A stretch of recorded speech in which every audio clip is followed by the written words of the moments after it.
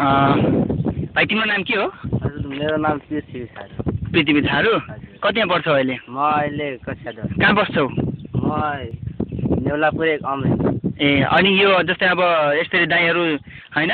देश बनाउन राम्रो मान्छेहरू अघि जानुपर्छ ठाउँमा पुग्नुपर्छ भनेर अभियान गर्दैछन् चौधरी अञ्चलबाट। अनि अनि जस्तै अब यहाँको युवाहरूले आफ्नो ठाउँको लागि के सपना देखेछन् हामीले त्यो सपनाहरू पनि लिएर जान्छौँ कि? अनि तिमीले आफ्नो ठाउँको लागि के सपना देखेको छौ? यहाँ के भइदिएको भए राम्रो हुन्थ्यो जस्तो लाग्छ?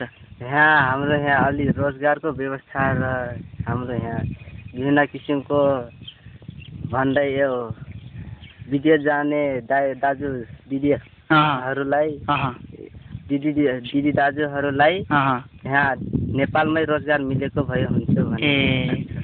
अनि जस्तै अब तिमी अब दस पढेछौ होइन त्यसपछि अब के गर्ने तिम्रो प्लान छ अब? बिजनेस गर्ने। बिजनेस गर्ने। हजुर। अनि तिम्रो अनि यहाँको धेरै जस्तो युवाहरू के गर्छन्? यहाँको युवाहरू धेरै जसो बेरोजगार नै छन्। बेरोजगार छन्। अनि कहाँ बाहिरतिर जान्छन्? हजुर। कहाँतिर बाहिर?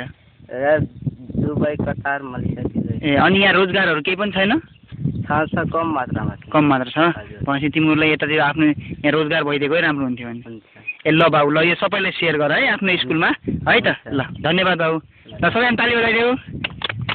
ल ल धन्यवाद ल।